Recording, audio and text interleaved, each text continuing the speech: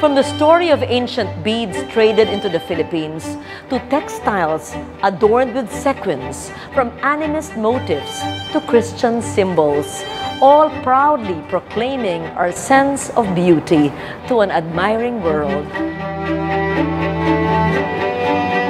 Carefully selected, stranded together, beads become heirlooms of great prestige and value.